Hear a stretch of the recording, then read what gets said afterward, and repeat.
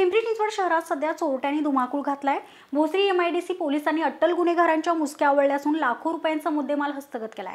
पोलिसांना सूत्राकडून आरोपीची माहिती मिळाली असता पोलिसांकडून आरोपींना ताब्यात घेण्यात आले. चौकशांती त्यांच्याकडून एकोणीस स्मार्टफोन आणि अन्य रोबरीचे गुन्हे उघडकीस आणून तब्बल सहा लाख एकोणसत्तर हजाराचा माल जप्त करण्यात आलाय.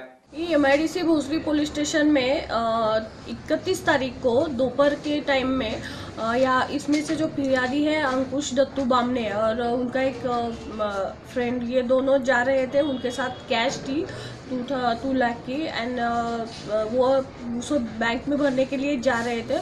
तो उसी टाइम एक वाइट एक्टिवा पे दो लोग आए, जिन्होंने रुमाल बांधे थे अपने चेहरे पे वगैरह तो उन्होंने उनको रुकवाया, थोड़ी मारपीट की और उनकी कैश और उनका एक मोबाइल भी स्नैच करके चले गए थे।